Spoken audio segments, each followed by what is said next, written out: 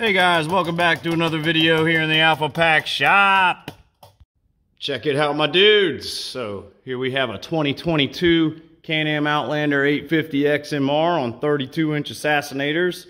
Y'all may have seen this on YouTube. This is the FT Mike Mobile.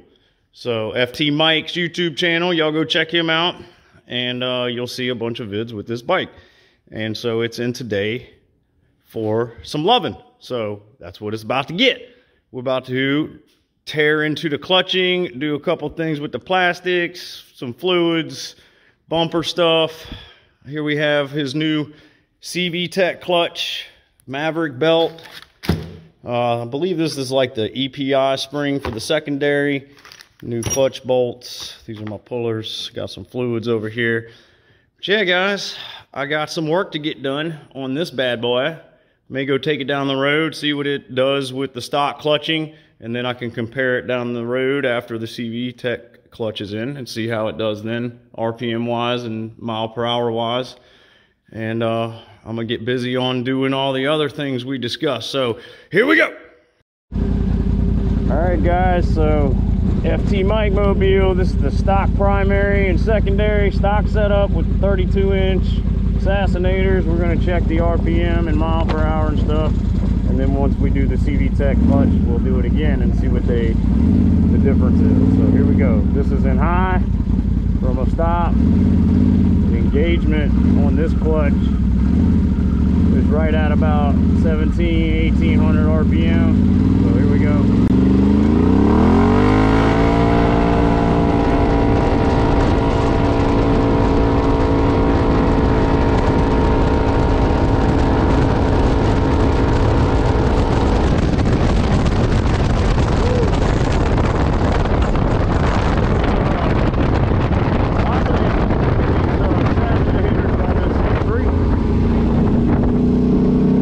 But that was high, so we'll turn around, check low.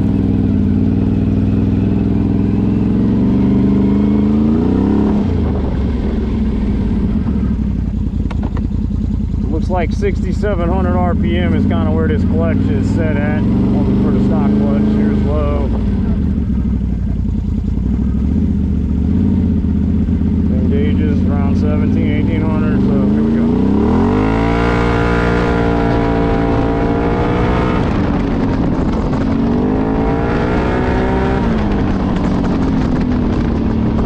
Line was a lot more in low, it was about 77, and I didn't want to keep on it and hit the limiter, so we got some data, guys. Put it back in high. Now it's time to bring her in the shop and start tearing it apart.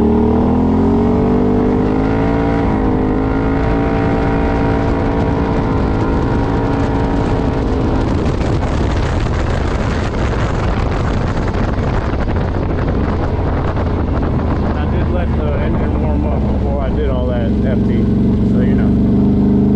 But this thing's smooth, I gotta say, and I like the exhaust. So, about to pull her up in the shop, start ripping it apart. And then we'll see what she does after the CV Tech install. So I'll come back when I'm busy doing some work on this bad boy. All right, got the bumpers removed. Yeah, they were a little bit of a pain, the front especially. If you've ever had to take an XMR front bumper off, I don't, these bolts here are a pain in the ass. They do not like to be loosened up. You feel like you're about to break your ratchet or your wrench or whatever you're using, your Torx, but got them loosened up enough in the rear and was able to get the fronts out to be able to get slide the uh, front bumper out. The rear rack comes off first, then the bumper can come off. So that's also out there getting prepped. Now I get to move on to getting these floorboards removed and uh, get that clutch over on the other side started up. So we'll be removing the old one, putting in the CV Tech and the secondary spring. And uh, yeah, we'll move on from there. All right, guys, haven't gotten to the clutch yet. We got some things to go over. I've got it stripped down really good though. And as I was taking panels off, I started noticing little things here and there. So let's go over what I found. So it looks like this exhaust tube for the clutch has been kinked or something and formed like that, but it looks like it's cutting air off. So might have to see, yeah, might have to get that figured out. That's a little bit of a restriction there. Over here, he had mentioned the light bar wasn't working. So went through the switch and everything. We had a wire come loose off of one of the switches and a lot of the connectors where it's crimped, like it's not making great contact here. It's sliding inside of there. It's sliding in and out on that one.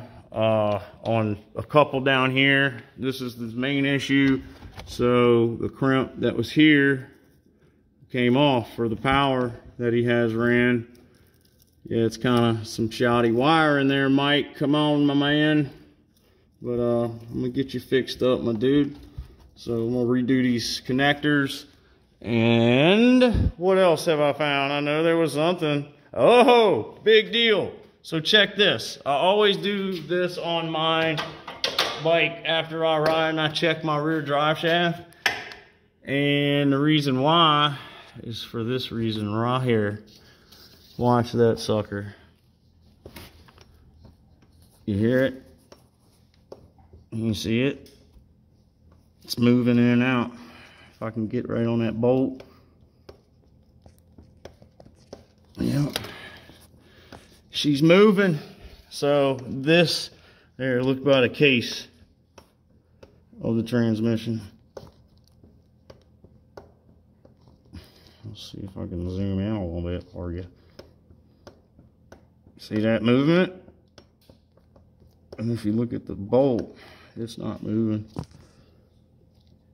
But, yep. Gonna have to get in there with a uh, ratchet or a socket, I mean, open in, closed in wrench and get that sucker tightened back up because uh, that's gonna ruin that, that U-joint. So we gotta fix that too. So anyway, I've been finding some things here and there. So I'm going to address all the little issues that I find and get them all fixed up. And then I'm going to move on to the clutch. All right, guys, so I went ahead and used this 13 mil Craftsman wrench here and tightened up that there bolt for the transmission drive shaft. And so it's good now. I went ahead and got the electrical connectors up there all fixed up and reconnected with new connectors. Changed these out as well, taped them up, so that should be good.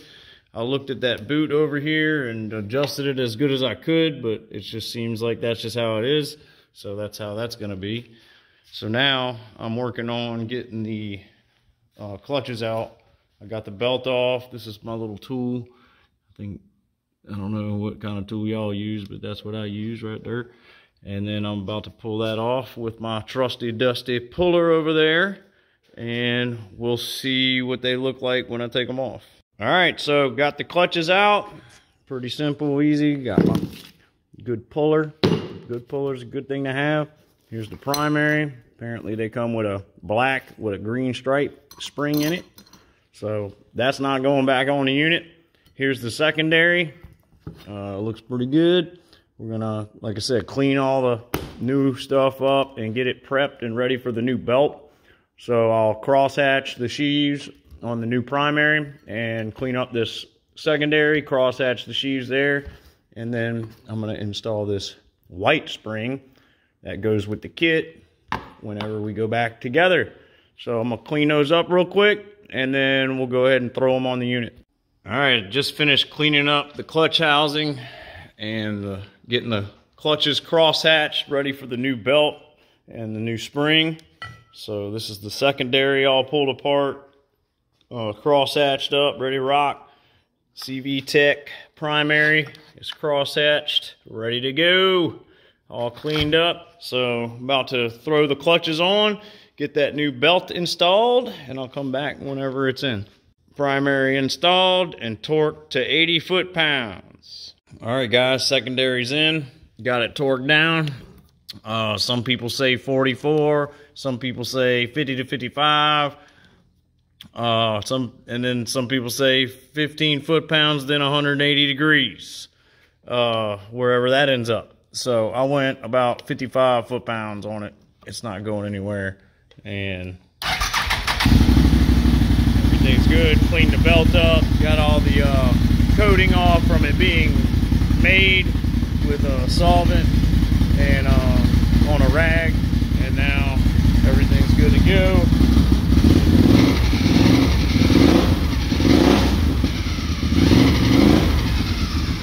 Alright.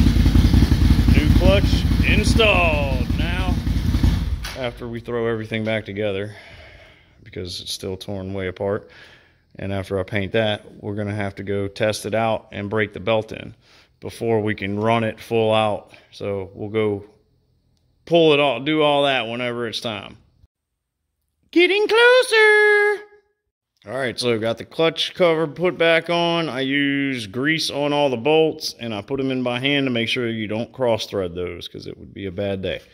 Uh, got all the plastics thrown on, dash is back together, dielectric greased all the relays, uh, fuses, any connections I could get to. I went ahead and dielectric greased them. Got the front bars painted up. Those are good to go. They're drying up. And we're going to move on to the footwells after I clean those up. Well, the footwells are still sitting over here because I couldn't help myself. And I went ahead and threw the bumpers on that were dried up. Let me know in the comments what you think of those. Got the front mounted up, tightened up. The roll bar here against the radiators all painted up. Rhino line out of a can, best thing ever for racks. The headlights were missing. He did a wheelie, I think. It knocked him out. I'm sure he'll take care of that down the road. But yeah, guys, moving along. Now it's time for the footwells. And then I'll be able to break the belt in. And then after the breakage in of the belt, we will go and test out this new clutch setup he's got. So I'll come back when I got the footwells on. Footwells in, guys. Check them out. Got them all tightened up, good to go. Uh, this side went okay. Everything's where it should be.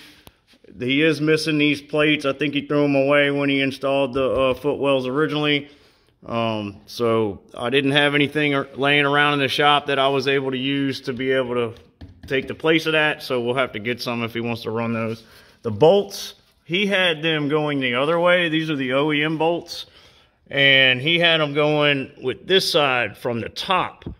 And, you know, the nut was down here. And then by doing that, it the top part had nothing to like grab that square puck part on that, that bolt.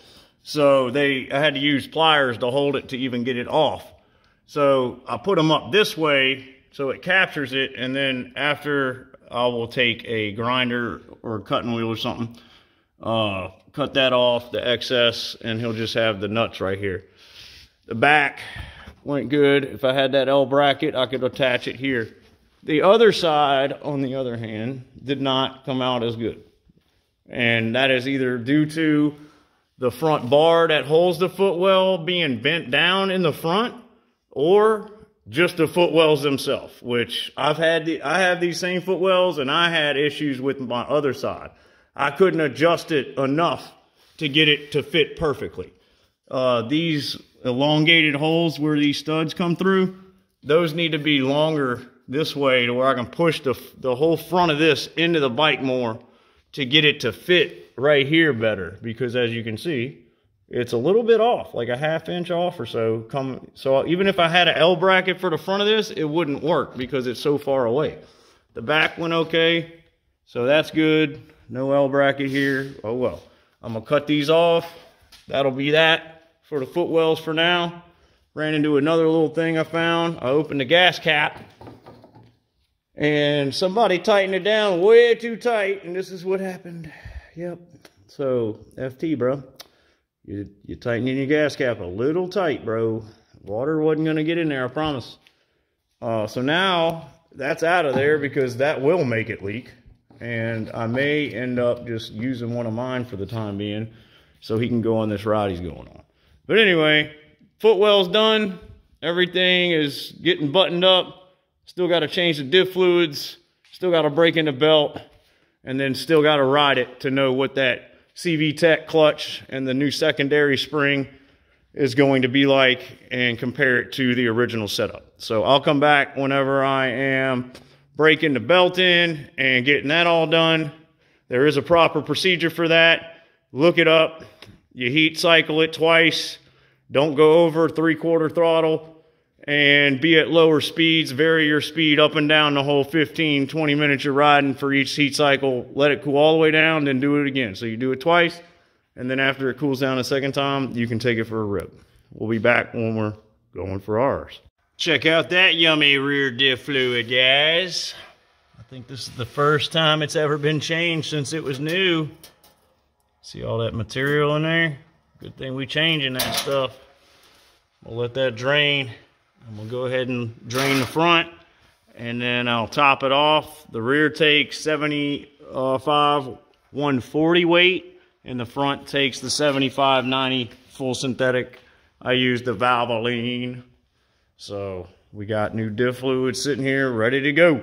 So I'm gonna do them diffs real quick and then we're gonna go break the belt in. All right, guys, FT's on the way, so we gotta hurry up and do this last test with the CV Tech primary and the new secondary spring. I've already ran the bike twice, heating it up and done the clutch or belt break-in.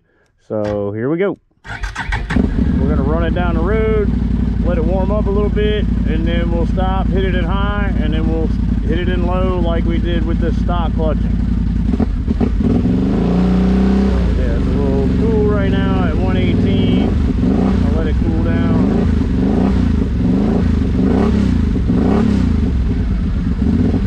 just go run it around a little bit and uh, slow speeds until it warms up.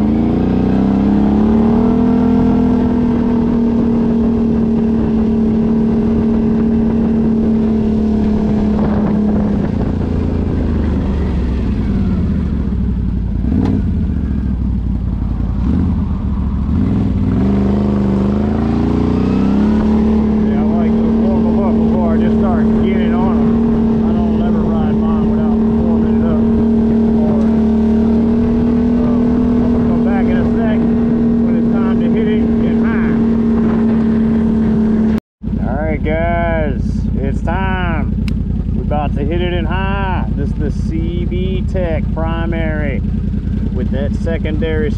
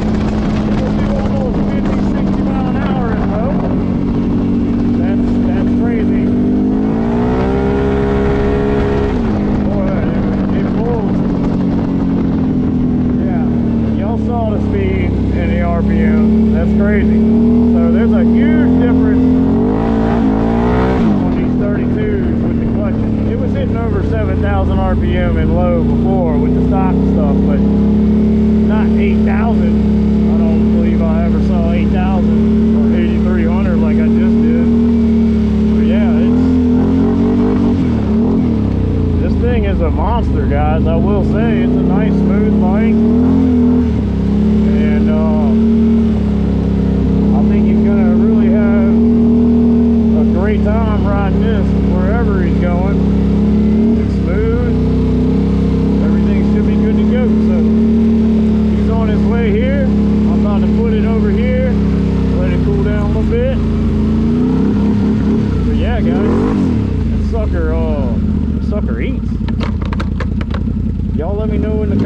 What you think of the build. Please, I'd appreciate it. And I'll get back with y'all when FT gets here and checks out his machine. So I'll be back now. Out here, he's on his bike going for a little test drive.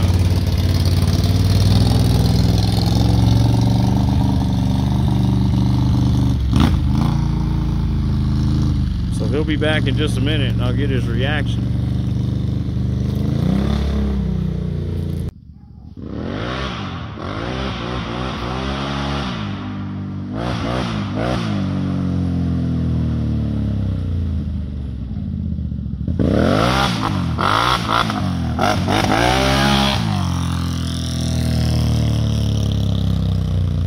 Hell yeah.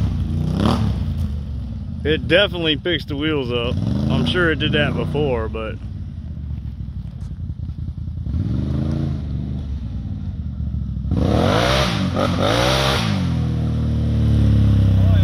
it grabs. You saw the different RPM? Yeah. This thing, it gets scooped. Oh, I love this I love thing. Die on this